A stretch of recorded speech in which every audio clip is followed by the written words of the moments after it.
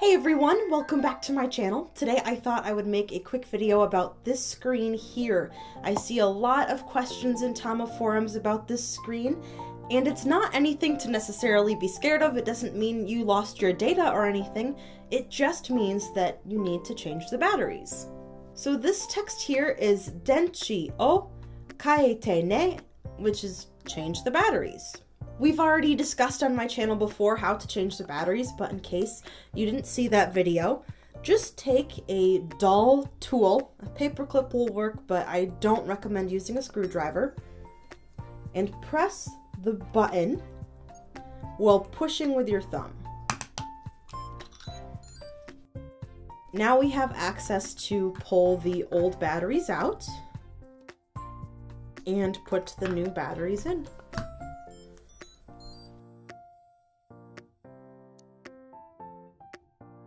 We have two options here, and it's very important that you choose the correct one.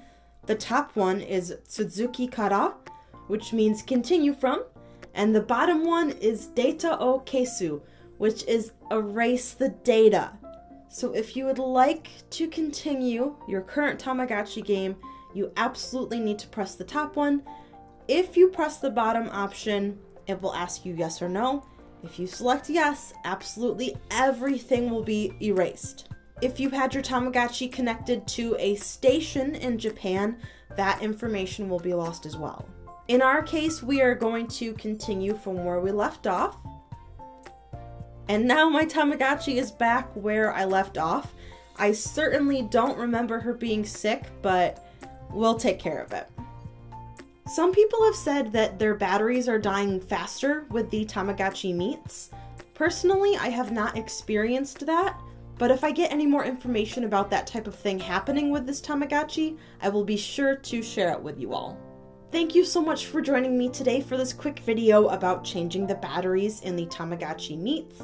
If you haven't already, please subscribe and check out the other videos in our Meet the Tamagotchi Meets series.